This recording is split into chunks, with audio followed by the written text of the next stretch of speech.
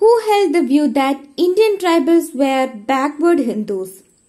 Option A G.S. Ghurye, Option B Y.B. Damle, Option C A.R. Desai, Option D N.K. Bose. The right answer is option A G.S. Ghurye. Who among the following has used the dialectical approach to the study of Indian society?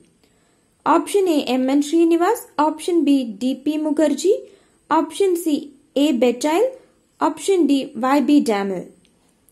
Here the right answer is option B D.P. Mukherjee.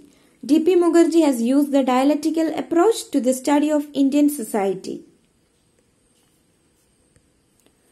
From the statements given below, choose the code depicting correct answer to describe the socially constructed gender inequalities. First one, hormonal and chromosomes differences between male and female. B. For similarly qualified persons, men favored over women. C. Men and women are thought to possess different physical, emotional and mental capabilities. D. Practice of dowry has increased among the educated middle class in India. Here the correct answer is option D that is for similarly qualified persons men favored over women and men and women are thought to possess different physical, emotional and mental capabilities. Practice of dowry has increased among the educated middle class in India. Given below are two statements, assertion and reason. Pick the right answer from the cards. Assertion.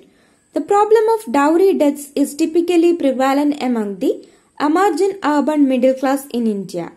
Reason. The law of inheritance is discriminatory against women in India. Here the codes are given. Option A, both A and R are false.